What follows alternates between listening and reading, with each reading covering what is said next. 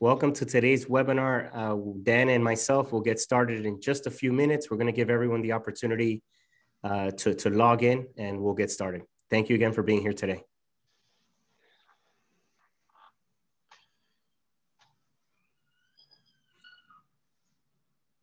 Great topic, Rafael. Looking forward to joining everyone joining us here. Yep. Good list of attendees so far.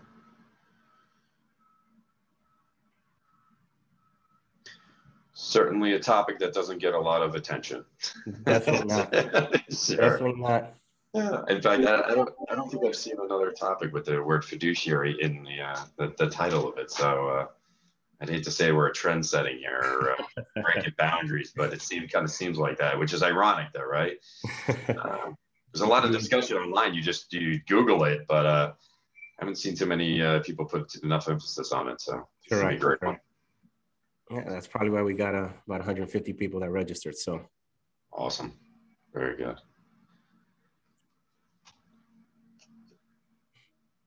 I think a particular interest is our angle here. Um, as once we get into the uh, discussion part of the presentation, hopefully everyone has a lot of good questions for us. Uh, definitely, as you're filing in, hit that Q and A button and uh, send uh, send the questions over.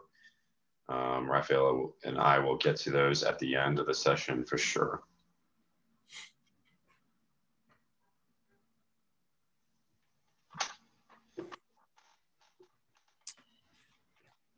Matt, I forgot to mention if you can make sure to press record. Oh, it's already recording. Excellent.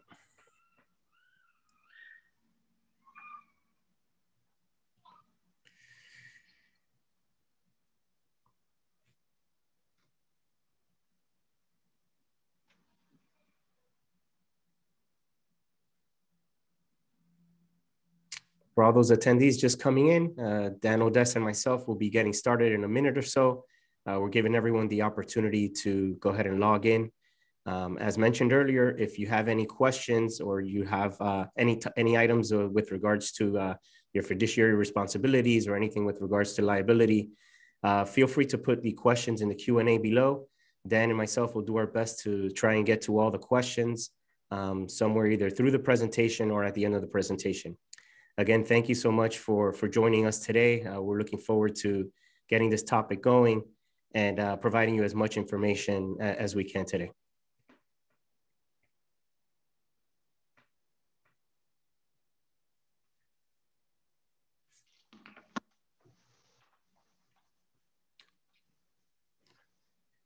All right, Dan, I think we have a steady number now. If you want to go ahead and, uh, and kick it off. Yeah, absolutely. Well, everyone, uh, thank you for joining us. Um, if you're uh, just if you're just getting into the room here, and as more people file in, obviously we'll continue to reintroduce ourselves until we're uh, we're comfortable that we get we got the number that we're uh, we're going to be stuck with through the end of this. Uh, we hope you join us through the end of this. Um, and as I just mentioned, uh, you have questions. Make sure that you submit them. Hit the Q and A button. Rafael and I uh, want this to be a uh, an educational process, and part of that process is making sure that we're answering your questions. Um, obviously, talking at you, um, we get our message uh, delivered, but we want to make sure that it resonates with you and that we have answered any sort of questions. But if we don't get your questions today, and you think about something after this, we will be putting up our contact information at the end of the presentation. Be sure to shoot us an email, give us a call. Um, either one of us would be happy to take you through each of the issues um, concerning such a big, robust topic. Um, obviously, in one hour, there's no way that we can cover all of the issues uh, that may uh, that may impact you as a board member. So we want to make sure that when you are making decisions for your community association, that you're doing it um, and and fully understand the, your obligations and certainly the limitations of the decision. So, as the title says, mitigating liability and protect your fiduciary responsibilities. Um, big, big topic. I'm Dan Odess. I'm president of Global Pro, where we manage your risk to recovery. We have managed more than a billion dollars in recovery. We represent more than a thousand community associations uh, throughout the United States and abroad. Um, I have a uh, bachelor's degree in engineering, uh, went on to study a master's in engineering as well um, licensed as a general contractor, as an insurance agent, as well as a, a public adjuster. I testified in court as to causation um, and damages and, and many, many, many, many different cases. Um, certainly uh, spend my time uh, publish, publishing my opinions uh, and assisting community association board members as well as property managers in dealing with complex insurance issues. And things are only getting more complex. And the man that probably knows how complex is are getting for uh, board members and as well as managers as, as alike um, is, is the gentleman I'm joined with and very happy to uh, share the stage with Rafael Aquino um, of Affinity Management. Um, you know, again, thanks for joining Global Pro and Dan Odess. Um, and, and, you know, for this awesome, awesome presentation. Rafael, why don't you go ahead and introduce yourself as well to, uh, to all of our attendees. Sure. Thank you, Dan. Uh, it's a pleasure always to be alongside you on these webinars. Uh, I myself, my name is Rafael Aquino. I'm the co-founder and CEO of Affinity Management Services. Uh, we are a community association management company that services the Tri-County area, Dade, Broward, and West Palm Beach. Uh, we service approximately about 9,000 units throughout the Tri-County area, close to about 57 associations. Um, we're a growing organization, uh, not a small mom and pop and not a little, uh, large, big corporate uh, organization. So if you're looking for that personalized touch, uh, you're, you're dealing with us now. As Dan mentioned earlier, we're also very much involved into providing education and assisting board members in, in trying to get you a better understanding of how the, the, the industry works, uh, the intricacies, intricacies of the industry as well, and also some of the challenges and how we're able to maneuver through, uh, through these challenges. Uh, none of this is possible unless we partner up with strong partners such as Global Pro. Um, so I'm appreciative to you, Dan, for allowing me to be here today and for your team uh, that assisted in putting this together. So let, let's get started on, on today's topic. So, um, you know, we get asked many times, you know, what is fiduciary? So um, at least from the manager's perspective, uh, we're, we're, actually, there's actually law that, that states uh, what our fiduciary responsibility uh, um, is uh, to the board of directors. And to the board of directors is really what we do is we act as your agent. Uh, we have a responsibility to your association to act in, in an honest way and also in a good faith uh, for your board of directors as well as the residents of, of your association. Uh, for board members, uh, you have a bit more. Um, as you could, as you can uh, uh, understand and appreciate, there are many responsibilities that you have that are dictated within your documents, and and a lot of these responsibilities you can't just set aside. Um, in today's conversation, we'll go into a little bit more with regards to insurance, with regards to the management aspect as well, and, and your responsibilities as board members.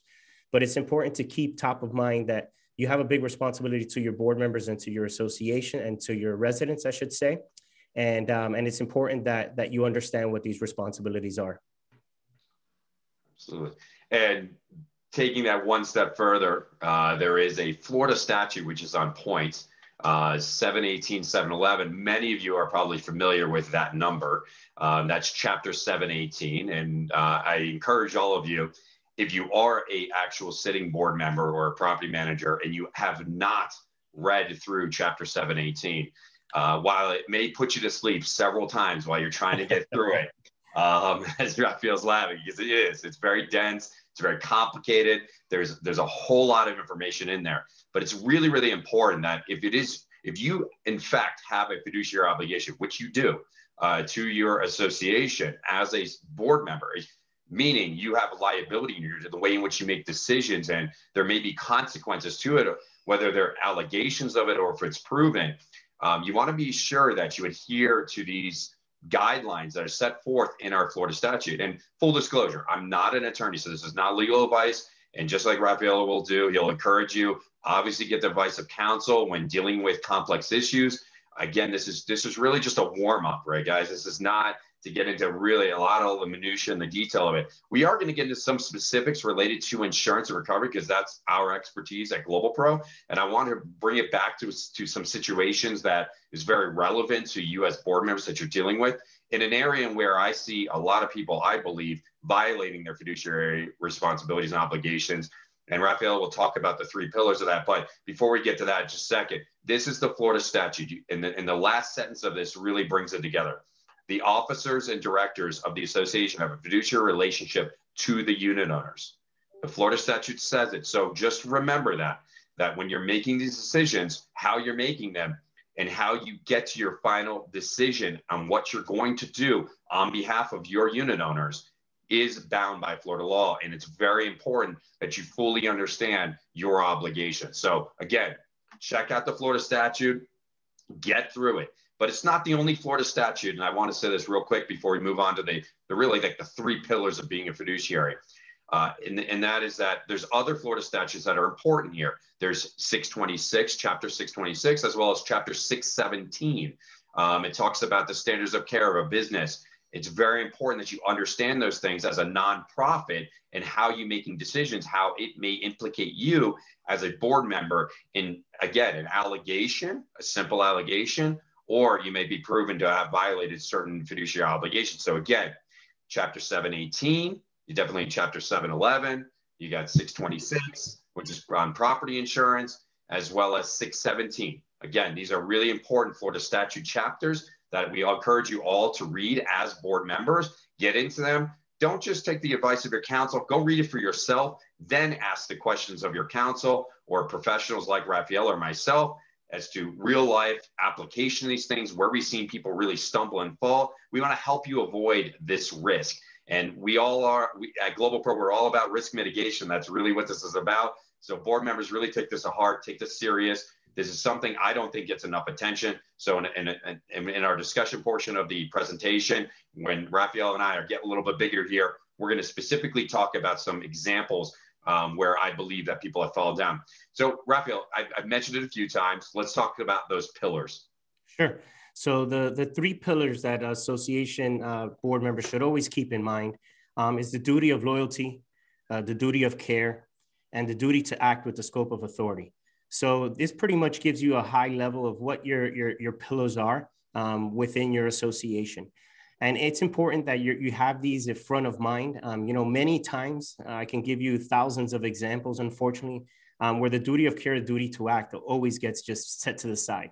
And it gets set to the side many times just because of either a, uh, what they perceive to be a financial circumstance or a financial issue that they're having.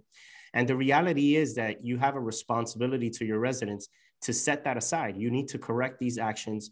You need to take whatever uh, steps the, the, is required in order to make things whole or depending on what the circumstance is.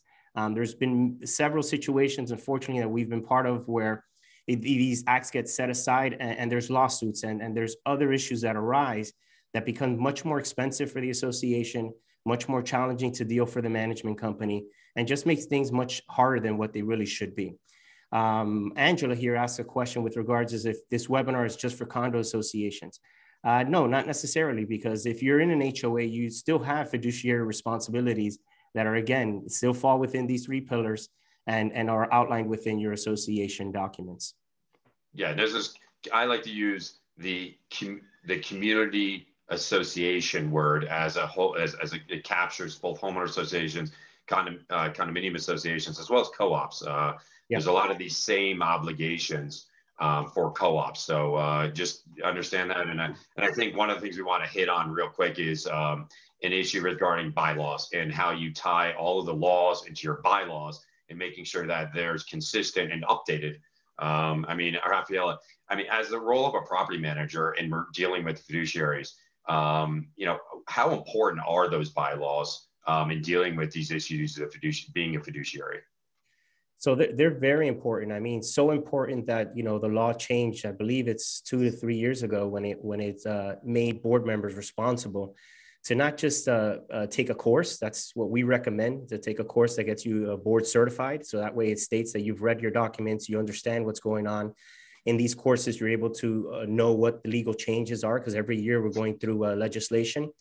Um, or sign a simple affidavit, which is what we don't recommend. So if the state is telling you that you need to sign that you need to read these documents and it's telling you something that you know yeah. what's in there is important you know many times unfortunately what we do because we're human you know no fault for anyone when you see a, a, a document that's about 150 pages if you're lucky and small um, you know you kind of set it aside oh it's not a big deal but later you find out that that's really the bible for your community and the guide that helps you understand what your responsibility as a board member is as well as a resident. Uh, and if you don't you if you don't understand that, then I'm not sure why you're even sitting in that position.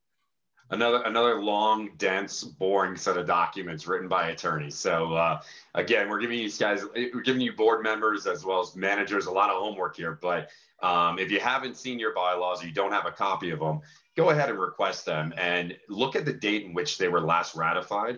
Um, I think it's really, or where any addendums added to whatever else. Um, I can't tell you how many times we go to newly updated buildings that you would walk into and they're beautiful lobbies, new windows, roofs, and everything else.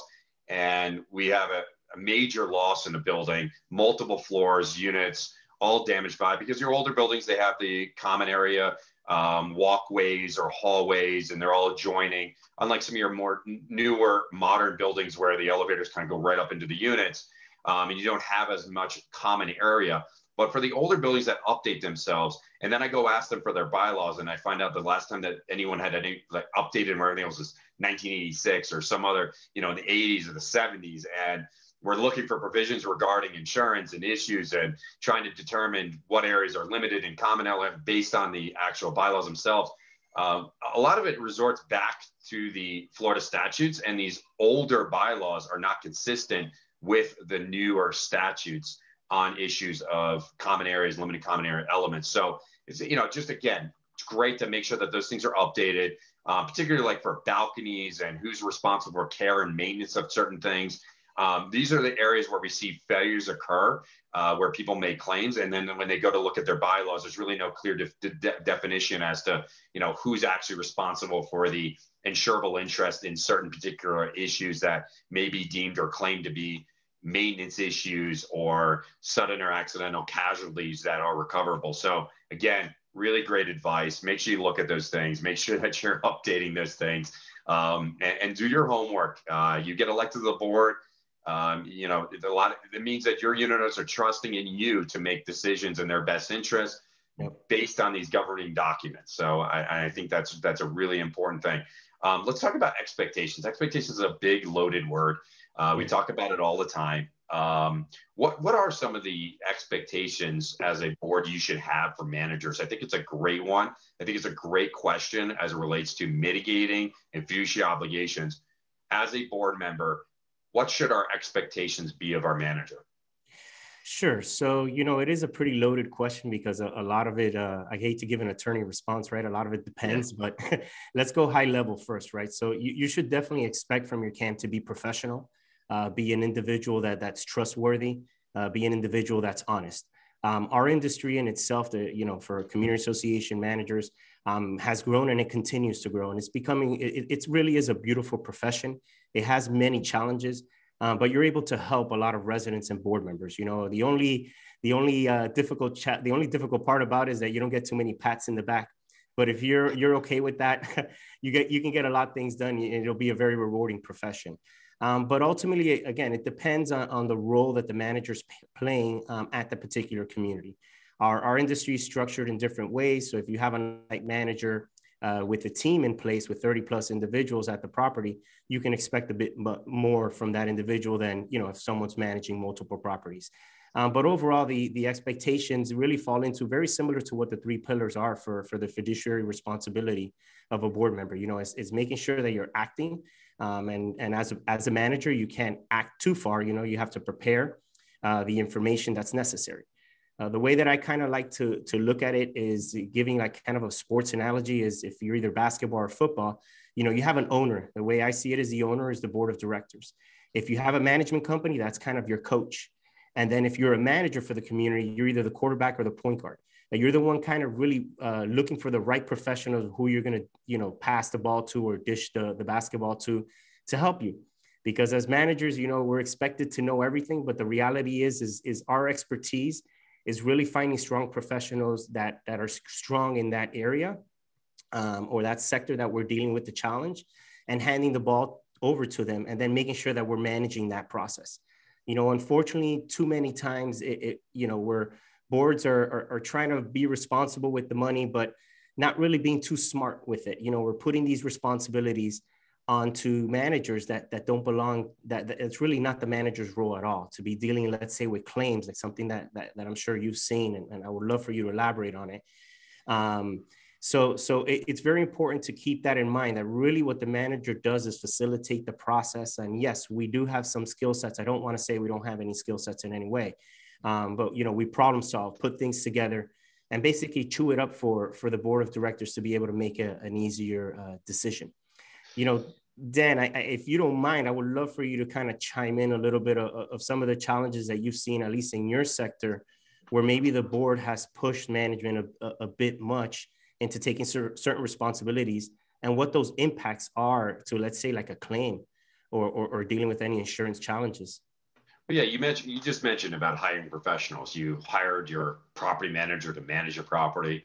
Uh, many of the things you see them do, uh, or, or, many times you don't even see them doing the things that they're doing on a daily basis, dealing with yeah. all kinds of different requests, whether it's certificates of insurance to um, access to the properties to uh, you know uh, John and Joe are are doing construction and, and coordinating when that's going to happen and then policing when they're starting and stopping. There's so many different things that on a daily basis, and certainly there's that expectation that you do those things. Just like you hired a, an accountant to file your taxes or to do budget planning, right? You rely on a CPA to assist you with doing budget planning. You hire a lawyer to make sure that you're complying with your legal obligations or to defend a lawsuit or in, investigate potential lawsuit against a unit owner or a vendor that may have done something that they should not have done, which is a violation of the bylaws or the governing or whatever governing laws that you might have for your actual your property. Similarly, when you're dealing with an insurance claim, many people think that, well, I have a broker or I have a property manager. Right. And then they take that onus and obligation and they put it on the shoulders of the property manager to deal with the broker. The reality is that your broker, 220 licensed individual like myself, um, is there to sell insurance, sell a product. They're not there to actually adjust a claim. In fact, if you read the Florida statute on brokers or agents, it says nothing about adjusting claims. Just like if you read a statute on property managers or as fiduciaries and what they're and the decisions that they're making, they're not there to adjust claims either. In fact, if a board or a manager were to adjust a claim, they are ta- shouldering shouldering all of those fiduciary obligations. They're making decisions for the association that they quite frankly are not qualified to do. Just like you're not filing your own taxes or doing your own legal work or performing your own construction uh, or designing the actual work that needs to be done. That would be an architect. You're hiring licensed professionals to, to come in and take on those obligations. But when it comes to insurance claims, there's a very odd, kind of weird situation where we think our broker who sold us insurance should be helping us. Oh, that's what we pay them a commission for. No, you pay them a commission to sell you a product. You pay your manager a fee to manage the property. You don't pay either of them to adjust a claim. And even if they tell you that they have risk managers on staff or claims professionals, they're not coming out to the property to adjust a claim. They're not going to assess actual coverage. In fact, that's the obligation of your insurance company, not you. All right. So your only obligation is to prove your damages, but proving damages isn't just producing contractor invoicing or estimates. No, the actual adjustment of a claim, making sure that you have someone representing your interest. The only person that can possibly do it is either a licensed public adjuster or an attorney acting as a licensed adjuster. A licensed attorney or a licensed public adjuster can adjust a claim on behalf of policyholder. The only two people that possibly can. In fact, there's a huge mega campaign against contractors, the unlicensed public unlicensed practice of public insurance adjusting right now going on. They passed more laws last year. They're going to pass more laws this year about it. They're make, they want to make it clear to contractors that try to get involved in the claims process that they themselves cannot adjust the claim. They're making it very, very clear. But we rely on our contractors a lot of times where our property managers or our brokers can't get it done. You just think simply, oh, I'll let my contractor do it. They're just going to get reimbursed. Again, not licensed to do it but a licensed public adjuster or a duly licensed attorney that is acting as a public adjuster truly are the only individuals that are obligated or, or uh, can possibly represent your interest in adjusting a claim. Just like the attorney doing the legal work or the accountant doing the financial work or the property manager doing the managing. That's what those professionals are there to do, like us Global Pro. We are a group of licensed public adjusters as well as licensed attorneys that represent the interest of community associations, HOAs, COAs, co-ops in claims and making sure that they get recovery because there's so many different nuances to it. All the Florida statutes that I re- referenced earlier all include certain particular information as it relates to how you should be recovering. And unfortunately, you can't just simply rely on your broker to do these things because again they're not licensed to do it you can't rely on your manager to do it they need to go back to managing the property and i, and I feel like when you try to shift that burden over to your manager or your or, or your broker you think that maybe that's a way in which you can save money but if they don't know what they're doing and they're not licensed to do it, all you're doing is shifting or trying to shift fiduciary obligations, responsibilities of you as a board member to other individuals. And it's number one, not fair, not correct, not proper, nor are you ever going to get everything you're entitled to in your recovery and making sure that you're also protecting your rights and responsibilities if in fact your insurance company doesn't properly pay you which is a lot of downstream implications of doing that stuff. So you got to make sure that you fully understand who's who the role players are and who is obligated to do these things and the limitations of their licensing. Again, even if your broker says, I have risk managers, I have claims professionals, it doesn't mean that they're there to represent your interest because as a 220, they cannot. They're not there to adjust a claim. Being very, very clear about it. Just like your manager cannot adjust a claim.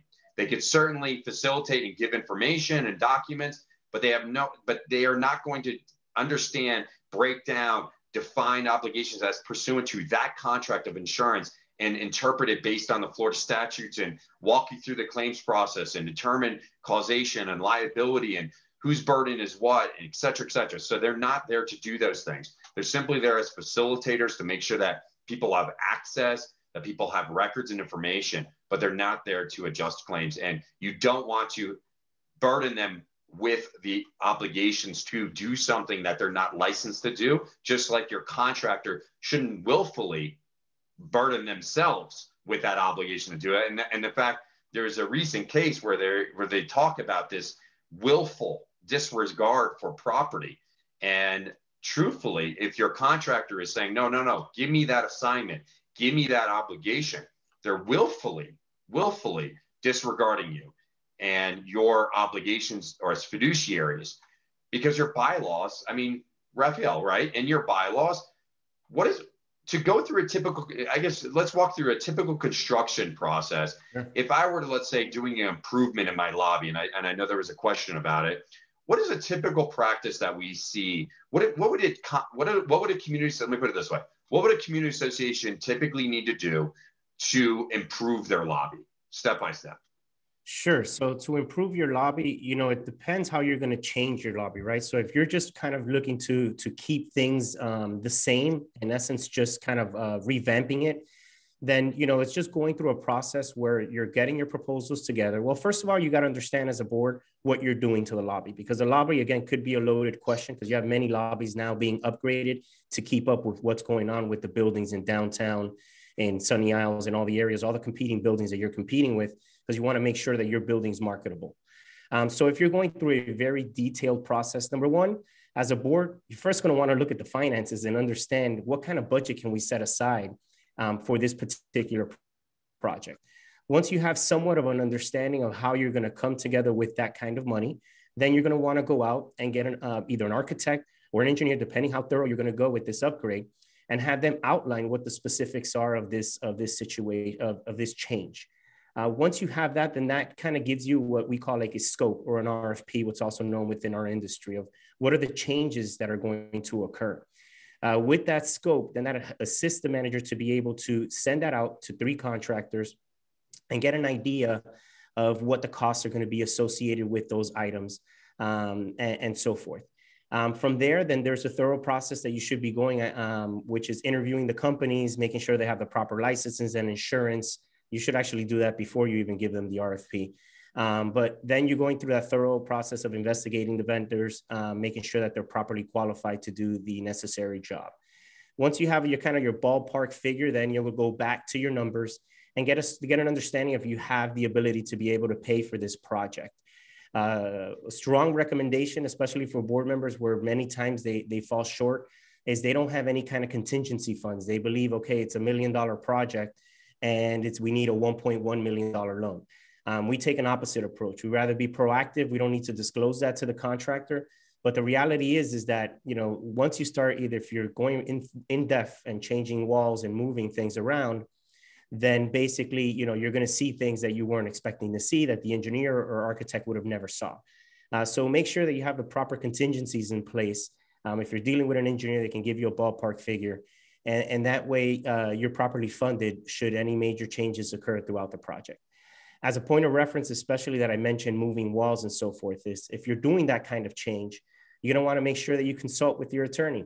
Uh, because if you're making any major changes to, to your association or to the property, then it is it, it can require a vote, or even if you're changing colors to be specific with the lobby, um, you will require a vote. So in general, it's what how I started the conversation earlier, Dan, which is you know you're dealing with so many vendors, you're dealing with so many partners um, it's important that you have them lined up.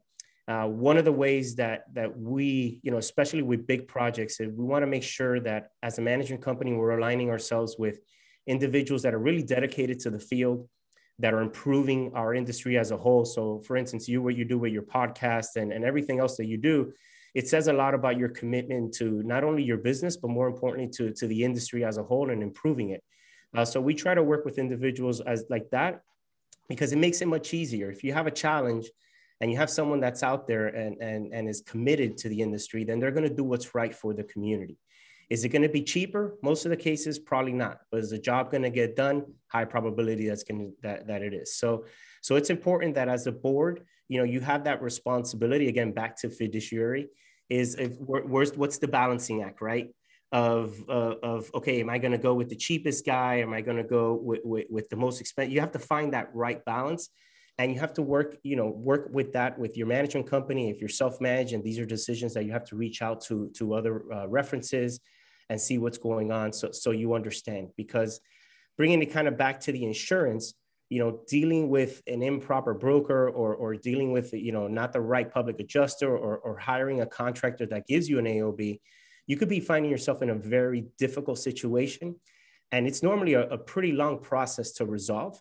Uh, imagine hiring the wrong person uh, to deal with that. So, uh, Dan, what I wanted to kind of throw back at you, because I know you went pretty in depth, but maybe for, for our board members that are newer board members and maybe haven't dealt with claims, maybe if you can give them kind of like a high level, especially now that we're walking into hurricane season, kind of give them a, a high level of, of, of a claims process and, and how you guide uh, your clients through that through that uh, through that through that process.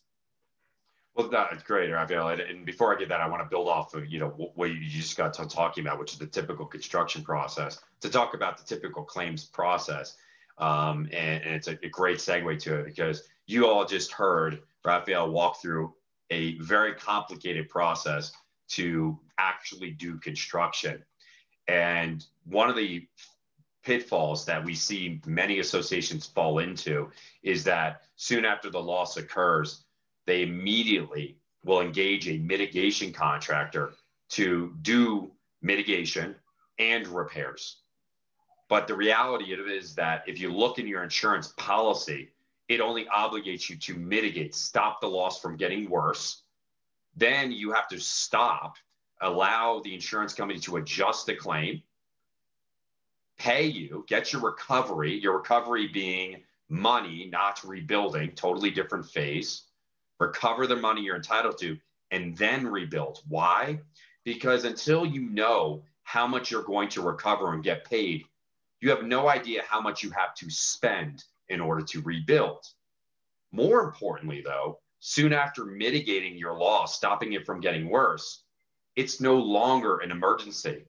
There is no there is there's not a situation where it is in fact an emergency. If your windows are boarded up because they broke from the hurricane or your elevator is shut down and in safety mode, again, it's no longer an emergency. I know understand that there's certain obligations to getting you know your desire rather to getting the elevator moving or the windows replaced or et cetera, whatever. The fact is, is though, you're not in an emergency situation. And before you go spend money, that you don't have yet, you need to first determine how much money you have to spend. And the only way that protect your fiduciary responsibility obligation is to first adjust the claim. But if you don't know what you're legally entitled to recover pursuant to your contract or policy, and your broker's not there to adjust the claim, and your manager's not licensed to adjust claims, and your contractor is wants to rush ahead and start rebuilding and said, hey, don't worry about it.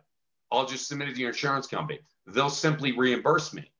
But you don't even know what their full scope of their repairs are going to be. And if I'm obligated in a non emergency situation to determine first what I can fix or do where I can do construction, I have to figure that out first, which may require permits, other licensed professionals like architects, engineers, to do simple drywall repairs in a common area hallway requires a permit in Miami Dade, Broward, or Palm Beach. You must pull a permit. It's a fire rated wall.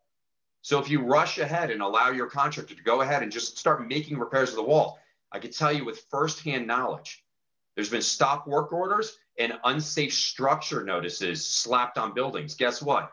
That stops closings in their in their in their footsteps that Racks, yep. will encourage people to bring lawsuits. All kinds of crazy things can happen as a result of that because you're not following the laws. You're not recovering the money you're entitled to first to then define a scope as to how you're going to spend it. You're spending money you don't even know where it's going to come from. So you get so, and then I've seen people special assess. Oh my God, our deductible is 1.2 million dollars to the hurricane. Let's go ahead and do a special assessment for 1.2 million dollars. But you have no idea what you're claiming for or what you're ever going to recover. But you went ahead and made the special assessment. Many associations got sued after they recovered nothing and then found out that their damages were far less than the amount of their deductible and then they had to give back that money. We saw that after Hurricane Irma. Avoid those situations. Understand the claims process. Let's talk about role players, right? So, in a insurance claim, you have many different role players. On the insurance company side, they have licensed independent adjusters that represent only their interest. Mm-hmm. Licensed independent adjusters. Licensed independent adjusters do not represent the interest of a policyholder. They only represent the interest of the insurance company. Those are the licensed professionals sent out by an insurance company to adjust your claim. Incidentally, they have no fiduciary obligations most often to your insurance company. They make no coverage determinations. They come out to the property, take pictures, write up fancy estimates, submit it to the insurance company to allow the insurance company to make the determination as to what they're going to pay. So some of us may know some independent adjusters because we've had many, many claims or we've been a board member or a manager for many, many years and think that you can rely on the relationship to help influence the claim or you can get it done because you've known this particular manager for a long, I mean, this particular adjuster for a long time. The fact is, is that they're not the decision makers. Again, this is all about decision makers and role players through this entire process. You also have your insurance agent and broker. They're kind of in the middle, right? They're in the gray area. They want to help you get insurance and they want to make sure that the product performs, but they're not licensed to actually adjust the claim. But remember, at the same time, your commissions are coming directly, most part, from the insurance companies, or you're writing a check back for that commission to them to pay them for selling you a product from the insurance company. But they need to, again, play both sides, right? They need to make sure that you're getting the product that you're entitled to, but they also want to make sure that it's working for you, but they're not licensed to actually adjust the claim. So that's why they have those risk managers and claims professionals there to facilitate the process. But again, facilitating a process is not adjusting a claim. They're not getting onto the property, they're not writing up an estimate for your benefit. They're not adjusting the claim for your interest. So on the other side, you have public adjusters or lawyers, lawyers that can act as public adjusters or as legal counsel. But you don't want to jump to the legal counsel side because you want to adjust your claim first, right? You want to go through the process. Sometimes we see attorneys, unfortunately, promote this idea that hire them first. Yeah. They'll go ahead and send out the notices. They'll go ahead and do these things. Believe me, if the reserves are not set in your claim by your insurance company and the independent adjuster has not reported back that information, the last thing you want to do is put your insurance company on its heels that you're all of a sudden already engaging in some type of litigation. In fact, what if you do ultimately go to litigation, it will be in your disinterest. It will be against your interest to have done that because anything they would have done from that point that that attorney gave notice of its representation of you will be deemed to be in response to this insinuation that there was going to be litigation and therefore protects everything the insurance company would do thereafter. So any delays they cause, any work product they produce, they will try to say that because you had brought in a lawyer early on, that they thought anticipate reasonably anticipated litigation, and therefore everything they are doing on their side is protected. But you want to find out what they were doing to adjust your claim. Now you can't. So that's why I encourage people don't run to your lawyer. Again, don't run to your contractor to adjust your claim. Run to a licensed pro- professional that's going to adjust your claim, that's there to adjust the claim in, in, on your behalf, specifically on your behalf. Again, your insurance company will send out independent adjusters or company adjusters that represent their interest. And on your side, you have an opportunity to hire a licensed professional to represent your interest. And that's not your property manager and that's not your contractor. Again, there's a huge campaign against the licensing practice of public insurance adjusting. And a lot of that is geared towards and focused on contractors that have convinced policyholders time and time again that they're going to take over that responsibilities. There's a huge amount of lawsuits filed by contractors where policyholders didn't even know they filed a lawsuit against their insurance company. Wow. And it came up in the actual renewal process going, oh, wow, you have a pending and open lawsuit or claim against another insurance company. It does not help facilitate that process. So be careful and look closely at that. And when you bring the contractor onto the site as part of the claims process, hire them to do one thing at a time. Hire them to mitigate your damages first. Check only that box. If you see tremendous amount of assignment of benefit language in there, have your legal counsel review it. I haven't seen a single community association attorney ever go, yeah, that's got my blessing. okay. And I know Rafael's laughing over there because he knows I'm, I'm it's the, it is, it is almost always crossed out if the association board members and their manager ask the question of legal counsel. Because if you understand what it's like to assign all of your benefit and all of your rights over to another party whose only interest is in getting paid, then how do you control a contractor if you don't control the money? Yeah. As simple as that. You are assigning, you are removing your all of those obligations and putting them over to someone that is only interested in getting paid. So they're going to rush to get the job done. They're going to value engineer to the job. It's not to say that they're all bad actors and there's not good contractors out there. But again, protect your fiduciary obligations as board members, as managers. Slow down, take your time, understand the process. This isn't a huge promotion to say, hey, hire proper, uh, public adjusters and hire lawyers to do all of this work. That's not what it's saying. But the fact is, is that whenever you're dealing with taxes or you're dealing with legal issues or you're dealing with management issues, you hire licensed professionals to deal with those things. In fact, when you're dealing with construction issues, you hire contractors. And when you're dealing with, let's say, other issues with, like regarding insurance, you might even hire an insurance consultant. But when it comes to insurance claims, for some reason, we just think, think that the insurance company will do the right thing. But time and time again, it's proven that it doesn't. And really, after you mitigate, your obligation is to exhibit your damages, display your damage to your insurance company for as long as they deem re- reasonable. But you need to prove your damages. So, how are you going to prove your damages? And hiring an engineer that doesn't specialize in insurance, that doesn't even see your policy? Go out and ask your broker if they have a copy of your policy immediately available at their fingertips. And what you'll find is most don't even have it. Oh, I'll go ahead and request it. Why don't you have it? You sold me the product. You mean me? You sold me a car you don't even have the keys to? Understand that a little bit. Okay. And there's what's called asking for the certified copy of the policy. That's the only copy of the policy that you can guarantee that is actually the policy for your community association. So if you're a board member, ask your manager, hey, do you have a copy of our certified copy of the insurance policy? Not just a copy of a policy, but the certified copy. And as a manager, ask your broker, hey, I need a certified copy of the policy. Put the request in writing. First one's always free. The second one, they may try to charge you for it, but you really shouldn't be asking for a second one because when you get the first one, make sure it gets scanned, uploaded, and shared with everyone. How do you know you got the certified copy? There'll literally be an affidavit on the cover sheet of the actual certified copy of the policy, swearing and attesting that that's the full and complete copy of the policy. That's that's your guidebook to everything that you're obligated to do in the event that there is a loss. It also tells you most often what's not covered because it rarely tells you what's covered. It most often says, well, we're not going to pay for this. So if it doesn't specifically exclude it, then it's included.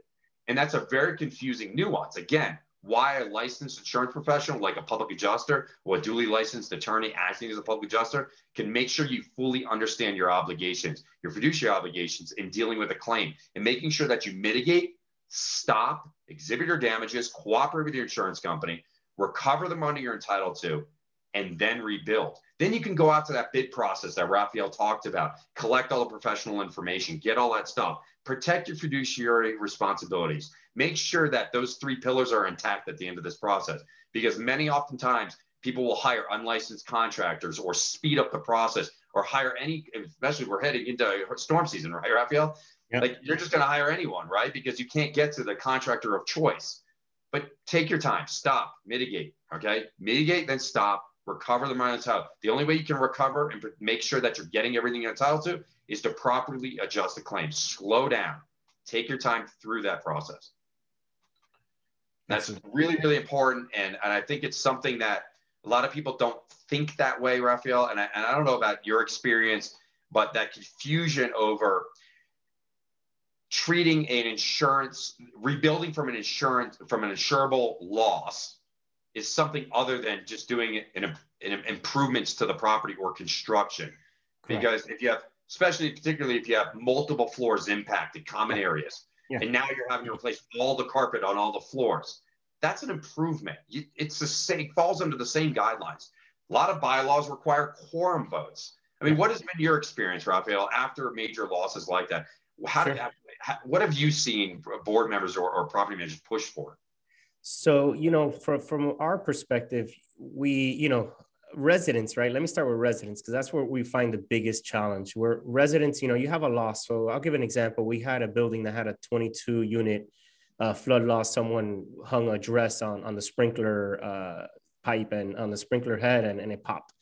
So 22 units were flooded. You can imagine the the the catastrophe that was, and, and dealing and managing that situation. Um, but as you stated, Dan, the first thing you know you need to do is just mitigate. Okay, how are we going to stop this flood? How are we going to correct the that flood um, that pipe from not uh, causing any more issues? And then drying up whatever needs to be dried up.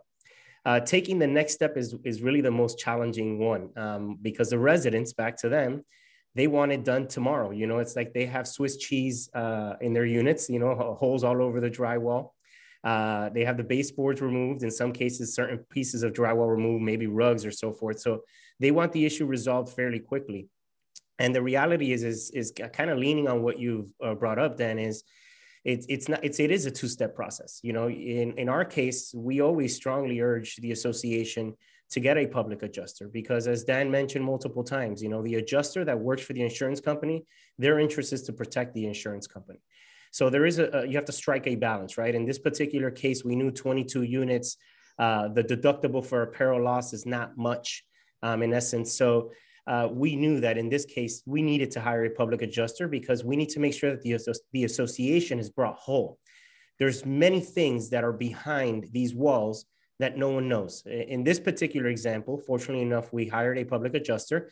Uh, we didn't realize, no one would have realized, uh, that the fire panel got completely soaked um, and that was that was realized later once there was an investigation done by the adjusters, uh, uh, um, engineers, and so forth. So, you know, having the right professionals with you uh, does definitely help the process. It is a process, and it can take time. And, and I and I say it here, and you correct me if I'm wrong, Dan, but I, I know that the process takes its time. But at the end of the day, it's your responsibility as a, as a board to make sure that you're bringing this building back to whole because what would have happened if the board would have said, you know what, just let the same restoration company put up the drywall, finish up the work, and close everything up.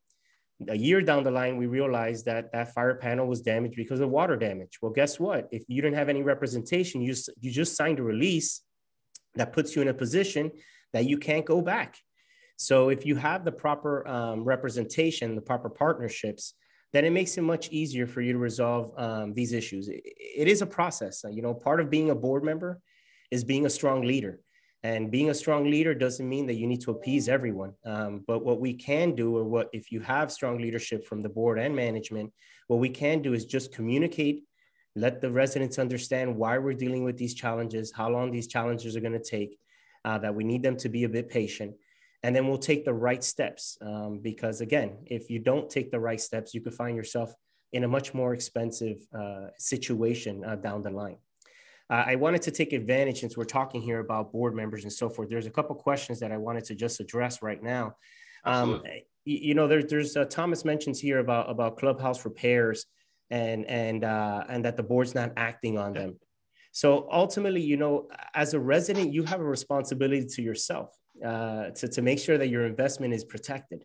Every single year, you have the ability to vote out these uh, board members that are not doing what they should be doing on, on, on your best interest. So if you notice that a board is not taking the action that's necessary, you know, you have two ways that you can address it. You can address it via recall, very difficult process. It's possible. I've seen it very, I've only seen it once in my 15 years.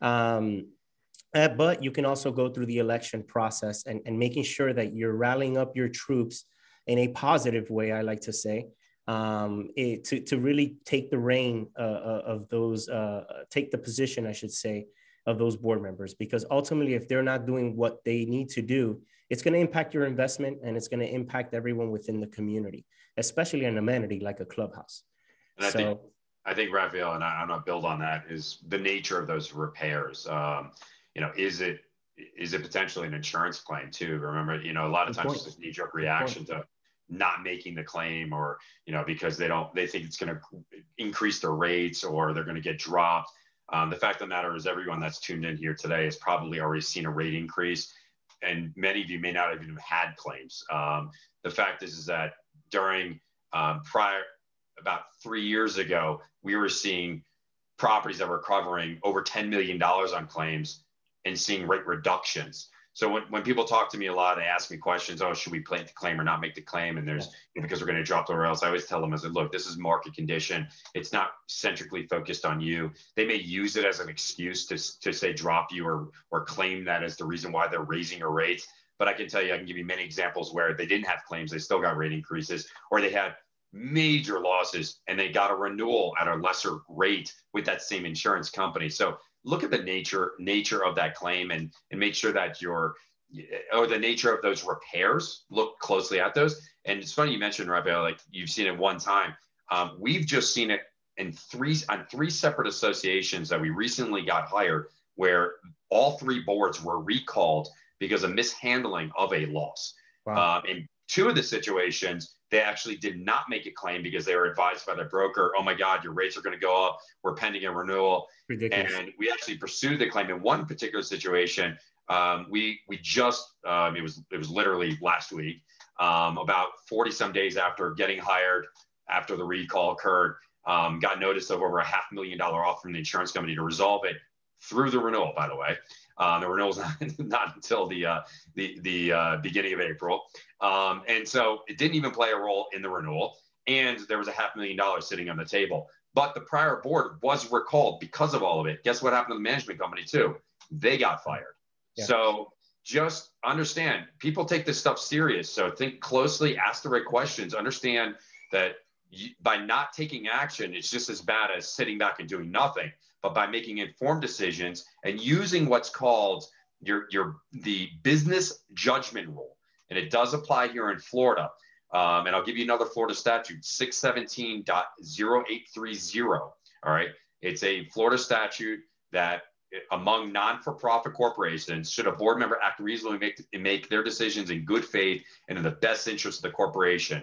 All right. So it's make sure that you are abiding by the business judgment rule in Florida when you're doing these things, so you don't get recalled, and so someone doesn't hang you for the hang you on your fiduciary responsibilities, and and and you get nixed and then the whole thing. You know, all of a sudden you have exposure, and your management companies, you know, everything that you've worked for in that whole process up that point is all, all goes away. So, um, and remember, these are all your neighbors too. It's crazy the things I see going on um, you're all volunteers. I, I, I, give it to you. Uh, you have a tough job to do, but do it right and ask the right questions.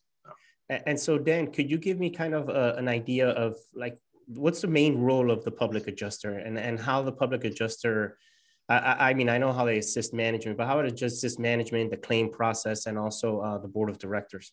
Yeah. So under the Florida Statute 626, a licensed public adjuster um, represents the interest of a policyholder in a first party or third party claim as a as a as a claim as a claimant on someone else's insurance um, as well as on the policyholder's own insurance for damages. And in exchange for a percentage of recovery, um, meaning a, a, let's say, I would say the typical for a community association range is like 10 to 20%, um, which is also regulated by the state of Florida. So in a state of emergency, like a major hurricane, you're going to be capped at 10%. Um, there's many, many rules and guidelines to it, and we're very highly regulated as public adjusters. So um, if you are hiring one, do your uh, research, uh, understand that process. Um, we're there to assist in identify, identifying issues of coverage and uh, uh, exhibiting your damages, proving your damages, um, meeting with the insurance company, negotiating with them on your behalf. Um, but you, as a board member uh, or board members and managers, um, as fiduciaries, which we are not as public adjusters, are ultimately make the decision as to willingness to accept a settlement or a payment, um, as well as to drop a claim or not bring a claim. So, um, but we're there as your licensed advisor to ensure that you are adhering to the guidelines set forth in the contract as well as the Florida law, like submitting a sworn statement proof of loss um, and uh, making sure that you're obtaining proper estimates and information um, related to your, your claims, um, or where there may be necessary to re- retention of an expert to help specifically for um, identifying an issue of coverage or causation. You know, again, specific issues. Um, it's it's it's a very complex process. We meet with the insurance company directly. We talk to the decision makers at the insurance company. Uh, we make sure that you're protecting your rights and responsibilities and adhering to them. So, in the event that it does not go right and the insurance company does not pay or pay 100% or delays it, um, that and you do seek the intervention of court, that you've you've actually protected your interests and you can prove that your insurance company has failed you um, and actually paying you. But there's also alternative means of disputes. Um, a lot of people don't even know those are available to us. So we're there to educate you about the process from start to finish. Again, it's complicated, it's nuanced, it's something you need to make sure that someone has a lot of experience in. Again, our team as licensed contractors and engineers, attorneys, like we have, we have we have access to all these professionals, whether they're licensed. I mean, I mean, I'm sorry, whether they are fully salaried employees or contractors that we contract the work out to to help us in doing those things. We don't and get involved in the construction process because again, it's not part of the recovery process to the extent that we are steering you to, towards someone to rebuild. We're most interested in making sure that your mitigation efforts are compliant with your policy and that what they're doing, you're going to get a recovery for. And if you're not, we want to make sure that you're aware that some sort of scope of whatever the mitigation contractor is doing is not. We want to make sure that you, you're aware of those issues up front. No surprises on the back end. Now, that's not to mean that the insurance company won't surprise you with some issues of coverage and things down the, down the road, but we want to make sure that we avoid as many of those as we possibly can. So. Correct, correct. And, and, and I have found that over the years that the experience of dealing with a proper public adjuster, especially a professional one, um, it, it, it's it's it's it's an ease normally for for the manager. Again, the challenge always comes with with regards to dealing with the residents and the speed that they want things done. Um, but the recovery percentages, the difference in percentages from what you would have gotten from the adjuster um, compared to the the eyes of the public adjuster, it, it's night and day. Um, and again, a lot of certain board members or associations believe, you know, it's it's to create excess funds, but the reality that's not the purpose. The purpose is to bring the association whole um, and, and, make sure that that the damages that were uh, that were had are, are properly um, corrected. Yeah. Uh, so with, with, regards to, I want to touch up. I know we're wrapping up here, but I definitely want to get um, uh, kind of get into a, one little topic, at least on the hurricanes. Um, on the hurricane side, um, um, what does your firm do in order to to assist managers? Do you have like forms that we're able to execute beforehand um, to kind of have you already lined up? If you can kind of give a give our board members and managers that are here on the webinar today uh, a quick response on that. As fiduciaries, you want to make sure that you're prepared, right, and for anything. And part of that is your hurricane preparedness. And we do on our website. We have what's called a preferred client services uh, program. Um, once enrolled, it's a one-year commitment um, we're there to help you in, in all of your planning. Um, I know um, Affinity and, and does a great job of putting together these manuals and making sure that you have proper documentation. Um, we want to basically do the fire drill, right? We want to act as if it's here now and today. Um, it's, it's great talking about doing things to avoid or protect you against damage. Uh, we want to assume that you're going to have damage. And then what is it?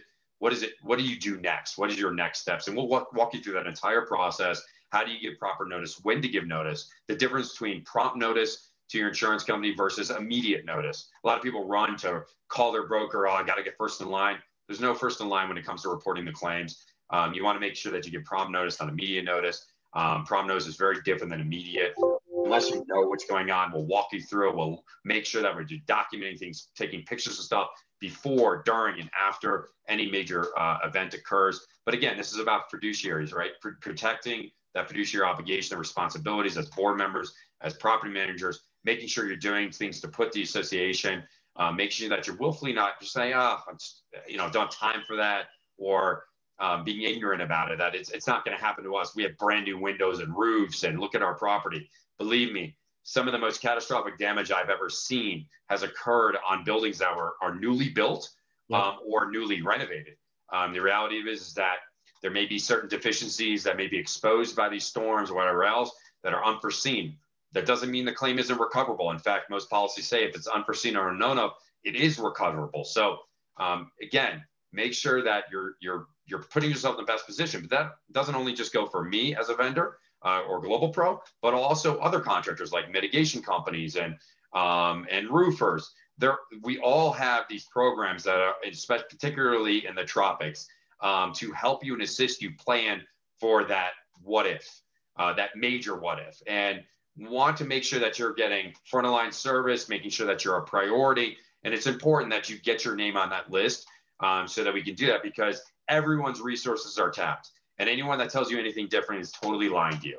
Um, yeah. and, and we're all scrambling around to make sure that we're taking care of everyone else, um, making sure that you're, you're the, the people that you're aligning yourself with are not overcommitting themselves in the event that there is a what if too is really, really important.